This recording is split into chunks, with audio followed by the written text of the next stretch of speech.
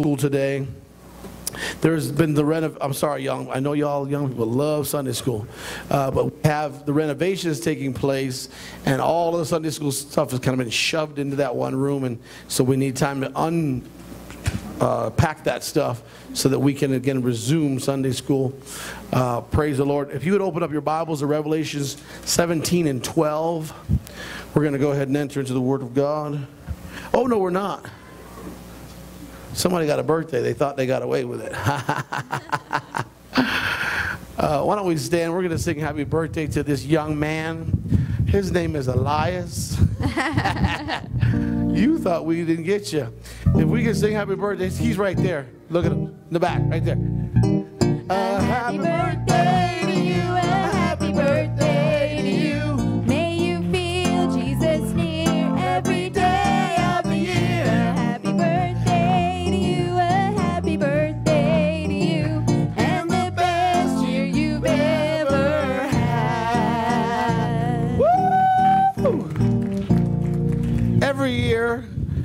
everybody gets at least one chance to testify. Testifying means that you're just going to tell the people what great things God has done in your life.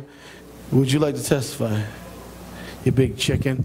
Uh, that'll be, uh, so he can never say he didn't get a chance, but it's not a requirement. I'm just teasing him. I love Brother Elias. We just want to thank him for being here. He helps me with the camera uh, on a weekly basis. So let's get back. See, I almost, man, I forgot Rosie last week. If y'all weren't here, was it Friday? I rebuked her in front of everybody. Was it Thursday or Friday? Thursday. I rebuked her. I said, Sister Rosie, you rebellious woman. I just, and I just, she didn't know what I was going to tell her, but she snuck out on Wednesday, see? She snuck out on me. I was calling her too. I was just about to catch her. But I knew she was coming back, so we got her anyway. Praise the Lord. Revelation 17 12. It says, and then ten horns, I'm sorry, and the ten horns, which thou sawest are ten kings, which have received no kingdom as of yet, but receive power as kings one hour with the beast. One hour is not a specific time, it's not just one hour, but it's a short period of time. Um, these, verse 13 says, have one mind and shall give their power and strength unto the beast. These shall, this is where my text is going to come from. These, which is the ten kingdoms and the beast, these shall make war with the Lamb, and the Lamb shall overcome. Somebody say, overcome. The Lamb shall overcome them, for he is Lord of lords and King of kings, and they that are with him are called and chosen and faithful. Mm, let's pray. Jesus, I want to be on the right team. There is a battle coming forth, and only one of those teams in that battle is going to win. Out of the two teams going to battle, one is going to lose, God. And, and, Lord, I call on you right now to allow me to be on the right team so I can have heaven as my home in Jesus' name. And the church said, Amen. Clap on the Lord one more time. You may be seated. Once again, I'd like to welcome you to New Hope Pentecostal Church. I'm so grateful that you came. The church isn't the same without you. And I mean that. The church is not the same without you. And that means from the least to the most. And when I say least, it doesn't mean your value. It just means that are doing the least and those that are doing the most. So when I say from the least to the most, you are all important. You know, there's some people just sit on the pew, they don't do nothing. But you know what? If they weren't on the pew, then they wouldn't have an opportunity to, to do anything later. So the fact that you're in the pew gives you an opportunity to step up when your time uh, has come, when you are uh, to that position or when the Lord finally gets a hold of you and, and you get to work.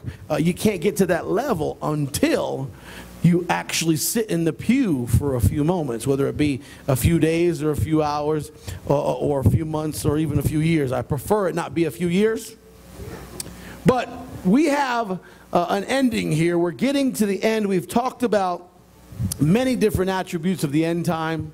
Uh, man has it been scattered. I mean, I'm, I'm going to have to, what I'm probably going to do is I'm going to get them all and put them on the same uh, blog clip, or, or what do you call those things? Each pay, uh, huh? link. No, they're all links on the blog, and there's different blog dates, I should say. And I'm going to put, just like I did with the Kingdom Bible study, I put them all on one blog page. Uh, I'm going to do the same with, with the end time preaching. Hopefully, next year, I like to preach this once a year, uh, unless the Lord um, comes before then. But uh, next year, I'm hoping that I can. I'm not going to choose the same time to teach it. I promise you that, because that didn't work. We've been doing end time for like three months or something. It's, it's been spread out and visitors and special services. And uh, but we we ended last last time we came together to talk about the end times. Uh, we talked about the rapture, and that was pretty much the last segment. The next thing is only what happens after the rapture will be done. And we're going to do that today. I've got another direction I need to go because the Lord has showed me through some things that Brother Bibb was talking about when it comes to what worship really is. So we're going into the concepts of worship, and then we're going to go into the ideas of uninhibited. Uh, so we're getting close. And we're, we're getting more ready as a result of even looking at today, uh, how Brother Mark came in and how we had song service, how we had services Thursday and Friday. The Holy Ghost is moving.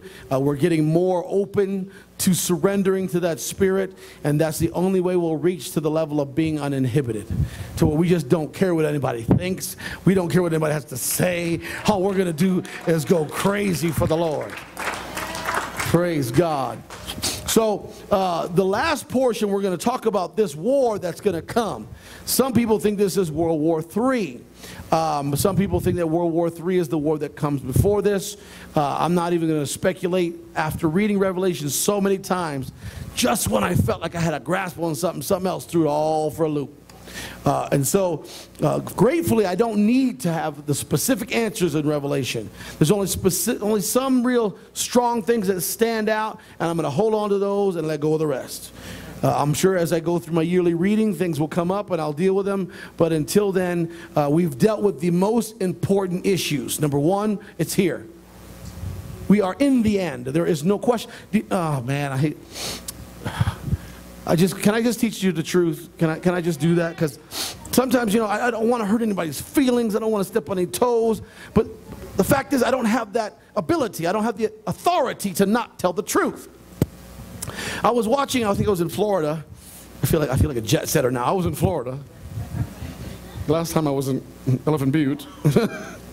I was in Florida, and I was watching the Pope, this new Pope. I think he was in Brazil, somewhere in Brazil. And I couldn't believe my ears when I was hearing he began to speak and said, and you know, when it comes to homosexual priests, you know, well, I, who am I to judge? And went on and um, now, don't get me wrong. Uh, in fact, who watched POA this morning? Anybody watch POA this morning? I, I loved how Brother uh, uh, Mangun was talking about, you know, we're not gay bashers here. There's too many, you know, regular people and, and Christians that are gay bashers. If you're a gay basher, then you need to repent. But when it comes to the scripture, we can't hold back the truth. Uh, uh I'm not a homosexual man, but I can hug a homosexual man. I have no problem with that because they need Jesus. Uh, a homosexual man is no different than, than, than a fornicating man or a man who's drunkard, or a man who's doing drugs. Sin is sin is sin is sin. That's what the Bible says. That's what the Bible says. And I want everyone to be saved. People don't realize hell is so bad that it doesn't matter what the sin was. It's just horrible to put you in that place. And our goal is preventing them to go to that place. But, he, he, but him getting up there as a person in the church, or supposed to be the church, saying that, you know, I'm not really going to judge. Oh, but you'll judge if, what were you telling me? Oh, if you use contraception. Oh, yeah, if you use birth control, oh, we'll judge that. Or if you do this or that, we'll judge that, but we're not going to judge this. You know why? You know why? Ooh, I feel it. Hmm? You know why? Because we have got to get to this level of society that we really are not going to take care of those big issues so we can all mend and blend together. So we can all just come together and nothing of, of a big nature really matters. Because that's one of the big arguments of today. And so what we've got to do is we've got to find a way to make those things okay so that everybody will come to this kind of church or this one world church that's coming, that's emerging. When you see things like that, you know that the end is near. Not because homosexuality is such a bad thing, but to say that something, and I'm not saying it's a good thing either, but I'm saying to be able to say we're just going to mend and blend everybody together and ignore what the Word of God says. The idea of Muslims, there is a catechism already written in the Catholic Church that says that Muslims are included in the kingdom of God because they believe in Abraham. Do you know that the Muslim church and the Catholic Church are the two largest churches and the largest growing churches? Well, Catholic Church is not growing, uh, but the Muslim church is growing. But they're the two largest churches in the world that make up the most people. All it would take is for those two to come together and you're this close to a one world church. And all you got to do is eliminate things like, you know, oh, it doesn't really matter. Just, you know, whatever, whatever, whatever you want to include is fine. We're all really going to the same place. We all really have the same God. That's where we're at, church. We are in the end, no question. There are things that the, the scripture shows us that we've gone over. And so, what we need to do as a church is wake up. Right. We got to wake up. Because if we're in the end, we got to look at what we're doing every single day. And what is in my life? We've got to evaluate our lives. Amen. It's time to, to clean out the closet. There, there's some skeletons in the closet. We need to take them, sweep them out. Some of us got graveyards in our closet. We can get rid of those too. So many bones, they can, you know, just stop. There's a reason because there's a war coming. And there's going to be two sides in that war. One side is going to be the Lamb and all of his, his army. The other side is going to be the ten kings and the beast and his army. Whose team are you going to be on? Because you're going to have to pick a side. You think, oh, well, I'm going to be in the middle. There will be no middle. Because if you're in the middle, you're just not in. Yeah, that's right. Middle is, middle is with them, not with God. So there's no middle ground, there's no gray area. Either you're in or you're out. So now we have to preach these things and we've got to preach the truth. Why? Because there's going to be a group that are called, chosen, and faithful, and they are going to overcome. I want to be on the overcomers team. I want to be on the winning team. I want to be on the team that's going to take me to a place called heaven. Let's go to the book of Romans, chapter 11, verse 25. We are in a serious time, church. This is a serious time. This is no time for joking around. Romans 11:25 states Remember the book of I, am very uh, interested. You know, Brother Mark might be dragging me to the church a couple of times a week extra than I thought that I would be. I want I want to hear that the lectures on Romans. I want to hear that because Romans is indeed a powerful book. It's interesting how most what I call modern day Christians jump right to Romans chapter 10, 19 and say, confess with your mouth and believe and you're saved. And they ignore Romans 1 through 9 that say, repent, be baptized, receive the Holy Ghost. Because that's what they say in Romans 1 through 9. Romans 11, 25 says, For I would not, brethren, that you should be ignorant of this mystery, lest ye should be wise in your own conceits, that blindness in part is happened to Israel unto the fullness of the Gentiles be come in until that time. Verse 26 And so all Israel shall be saved, as is written, there shall come out of Zion the deliverer, and shall turn away ungodliness from Jacob. For this is my covenant unto them when I shall take away their sins. I will take away their sins. I don't know about you, but I don't want them. I don't want them. Sin has never done me any good at all.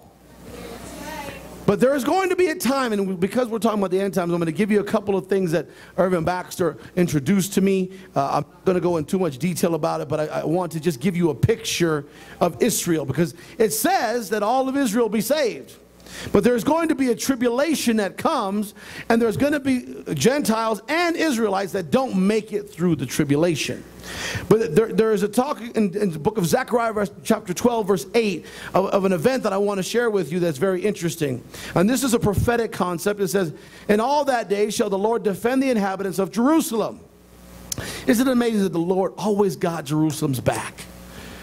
They just kept messing up and messing up and oh, somebody better hear this. Falling down, tripping, messing up, but the Lord always, even if they let them fall for a while, let them flounder for a while, He always was there, and He's going to be there in the end because all of Israel that make it through the tribulation are going to be saved. I'm going to show you verse 9. Uh, where was I? And it says, And he that is feeble among them at that day shall be as David, and the house of David shall be as God, and the angel of the Lord before them. Verse 9, And it shall come to pass in that day that I will seek to destroy all the nations that come against Jerusalem. Because remember, that's where that battle of Armageddon is going to take place. They're going to come against Jerusalem. Verse 10 And I will pour upon the house of David and upon the inhabitants of Jerusalem the spirit of grace and supplication, and they shall look upon me whom they have pierced. And they shall mourn for him as one mourneth for his only son, and shall be in bitterness for him as one that is in bitterness for the firstborn. Let me tell you how Brother Baxter described it. Uh, when, when Jesus comes back to the Mount of Olives, he's going to present himself to the Jews. And he's going to say, because remember, the Jews don't believe that Jesus still now do not believe. Isn't that amazing? They messed up all through the time that, that Jesus was here. And then after he left, after they crucified him, after he came back, still the main core of Israelites do not believe that Jesus is the Messiah. Maybe a prophet, but not God. And so, to demonstrate God's mercy, even of all that time and all their screw ups and all their messing up, he at the end is going to stand there and say, Do you recognize these? Right. And then, and only then, and remember, they're going to have to have made it through the tribulation. And if they're still there, can you imagine what they're going to feel? This is something that, that we should understand because, see, we mess up over and over and over again. And we think, oh, no, no, God can't forgive me. No, no, God's not going to God's not going to support me. God's not going to refill me. That's a lie from the pits of hell. Because if he can come back and forgive those that actually, oh, put him on the cross, the ones that actually put him on the cross and believed that it was all right to do, if he can forgive them, you think he can't forgive you? Mm. He's going to put his hands and say, It was I. Can you imagine the regret first that they're going to feel? Because he's going to show them. Can you imagine? They're going to understand that the generations from the times of the Roman uh, captivity of, of, the world, basically, uh, from that time, they have believed this wrong thing all this time. And they have, they have persecuted and come against, and not, I shouldn't say persecuted, but they've just fought against the idea and been offended and been insulted by our very teachings. And they're going to learn at that moment that those teachings were correct. And they were wrong all that time. Oh, I'm sure that when it says all of Israel will be saved, it'll be because they will be at such a level of repentance. They will be such a level of mourning of what they've done that all of them are going to be saved. They're going to make, mean, they're going to fall to their knees and worship him for who he is for the first time in 2,000 years. Hmm. Now, if we are part of his army, it doesn't say the proximity of his army when we are. Uh, Mark, do you know anything about that? The proximity, just, I'm just thinking out loud. The proximity of us from Jesus on the Mount of Olives talking to the Jews. Does it give us an indication about that? Yeah, we're going to be right behind. him. Right behind him. Okay. That's what I was hoping for. Because we get to watch it. if you're one of the called, faithful, and chosen. Can you imagine? Okay, oh, ah!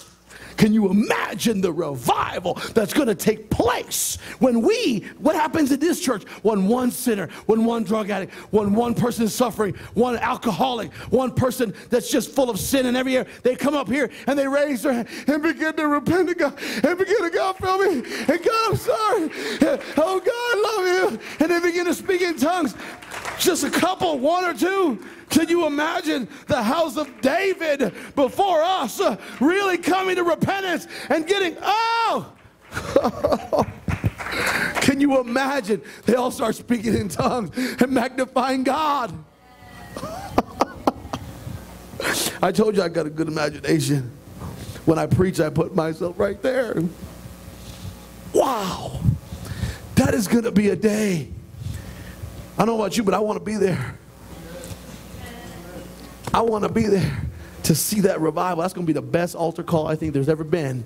Ever. Can you imagine the joy of God? Who these are the ones that I, oh, come on, somebody. These are the ones that I love. These are the ones that I created first. These are the ones that are my children. And they're the ones that never received me.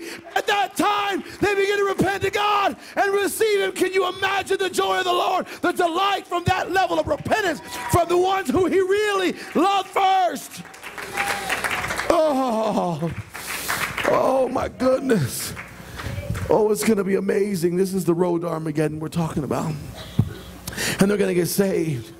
And then they're going to be able to be a part of the army that comes against these nations. Wow. Wow, wow, wow. So there's going to be those that are they're going to see the piercing. Now, Zechariah 13.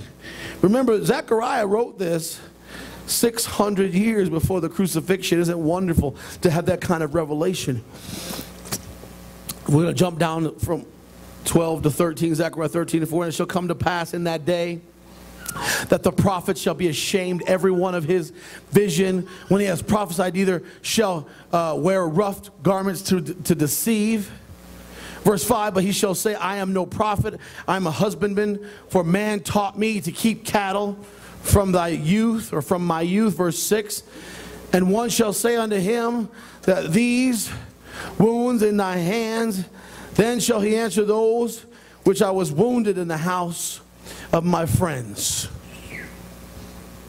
In the house of his friends the ones that were the closest to jesus the ones that wounded him. Can you imagine you know, this isn't much far off from what we experience today because generally it's the people that are closest to us that hurt us the most. The people who we love the most tend to hurt us the worst. Can you imagine? I'm just, you know, in the same place where I just brought you, you know, Jesus being in the position of being spat on and, and, and slapped and, and disrespected by his own kinsmen his friends, people who were supposed to recognize him for who he is. He allowed himself to go through that. Can you imagine how? I mean, when Romans do it, Romans are pagans. You know, when someone out in the street, oh, somebody called me a crackhead once. Somebody or not, they say, oh, he's still smoking crack. Why don't you follow me around for a while? We'll see how true that is. Come to my house, hang out, and see where the crack is. Only crack at my house in the walls. Only crack my house on the sidewalk when you walk on the front. People can say what they want about me, but when someone, you know, it's funny. I asked my wife something. How was that? How was that sermon? How? I hate to ask sometimes because I know if she don't say the right thing, I'm gonna get hurt. Because I, I really care what she thinks. So when she says it was good, I'm like, oh, good. Because when they're when they're really good, she goes, "Oh, babe, that was awesome," and so I'm like, "Yeah, I, I, I got it, I hit it. That's that's what I want." But when I don't see that, it hurts. I'm like, and then I get throw a pouting fit for about an hour, and then I talk to her again. But it's because she's close to me. It really matters. You know, I don't matter to me what these other people say about me. Say what you want. You know, I'm, I'm okay because I know where you're at. I know where I'm at. But when people are closer to you, it hurts more. People that you expect uh, to love you and care for you, when they hurt you, it's much more painful. I can only imagine, you know, bad enough that Jesus had to go through the, the torment and the, and the torture, but to be, to be treated that way by his own people, his own kinsmen. Let's go to Jude 14. If you're wondering why there's only one number, there's only one book, so it's only verses that follow the word Jude. There's another comment about this, this end time battle that's going to take place that I want to share with you. In the word of the God, it says, uh, Jude 14, and Enoch also, the seventh from Adam, prophesied of these things, saying, Behold, the Lord cometh with 10,000 of his saints. To do what? To execute judgment upon all. Let's just stop there for a minute. My goodness.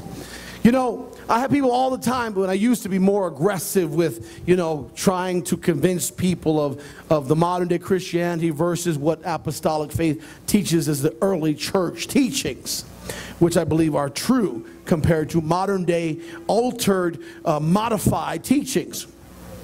One of the first things people will tell me, you can't judge me. See, the Bible says to judge not. It's interesting how people love to stop right there. It says, judge not that you should not be judged. Talk about hypocrite. But then the first, then it says, but first remove the, the, the mote from your eye before you remove the splinter from someone else's eye. Now, what that means is, is that you're going to get judged. So the Bible's not saying not to judge at all. It's saying don't be a hypocrite when you judge. It says make sure that your house is clean before you look at someone else's house and say, man, your house is dirty. Man, you need to clean your house. That's a hypocrite when your house is filthy. Oh, look at your house. That's a shame. So what it's saying is before you're going to correct someone else's behavior, make sure that you are repented before you teach a repentance baptism or a repentance Bible study. Before you're going to tell someone they need to stop a behavior, make sure that you have stopped your behavior. And then if you don't allow yourself to be corrected, you know, that's what it means. With it. You, don't, you can't judge me. It means please don't correct me. And the Bible from front to back is about correction, exhortation, about teaching people the error of their ways. That's what Paul did. That's what the apostles did. It was correction. Now, I've got something that God gave me as a revelation. We're supposed to judge, we're just not supposed to do it judgmentally. That's good, huh? I like that. You know, that's when God gives you those, those are like the, the revelation gems. Judge, just don't do it judgmentally. Let me give you the difference. Uh, someone's involved in a relationship and they're not married, and they're, and they're having premarital relations and they're not married. This is judging judgmentally. You know what? You're going to burn. You should not be doing. Let me tell you something. You know what God thinks about that? God thinks that that's horrible. So he thinks you're horrible. And so you, you better stop being horrible to the Lord and get right. If you don't get right, you're going to get left. Okay? They can even come up with little slogans to put you down. And, and by the way, this guy's, you know, got six or seven girlfriends that nobody knows about. Okay? But when you judge and you don't do it judgmentally, what you do is you bring them the Word of God and say, listen, I understand uh, that you're used to a certain living, and, and, but when you come to God, God wants us to change. You know, it's, it's normal that you, I understand where this comes from, but you know, God has a different idea for us. And there's reasons why He wants us to change because these things are, are, are, are going to cause problems in our lives. And I'd like to see you get better. I'd like to see your life get better. So why don't you let me give you some of these attributes that are going to help you please God? Why don't we try not having any girlfriends uh, that you're involved with sexually until you get married? It's called purity. See the difference? See, we were supposed to judge, but we're not supposed to do it judgmentally. And so those people that are doing it judgmentally, they give us a bad name. Because as soon as we begin to correct, they're like, ah, don't judge me.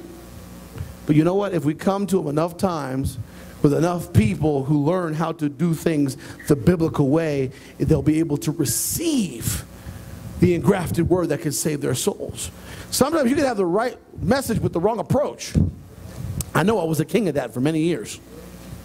Take that Bible and just whack them. What's wrong with you?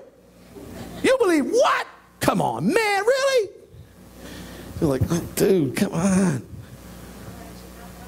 Praise the Lord, because most of you wouldn't be here. Praise God. I was still doing that. We'd have a small church. Praise the Lord. It says, to execute judgment upon all. I'll tell you what, I promise you, man, I'm, I'm having so much fun this, morning, this afternoon. I promise you, you want me to judge you first. Because you don't want to wait till Jesus judges you. Amen. You better have yourself a little pre-test before you pack, before you take the big test. Because if you don't take a pre-test, you might fail your test. Oh, come on. You don't want to fail that test because there's no retakes. There's only one test. But if you take a couple pre-tests, you can fail them. Learn your lesson and then take the big test. So, you know, promise you, allow yourself to be judged now according to the Word of God. And let the man of God or the pastor or the leader of the church or even the saints in the church begin to love you enough to tell you the truth. There are changes that we have to make. And if we don't, we're not going to pass our test. And then it says, and to convince all that are ungodly among them of all of their ungodly deeds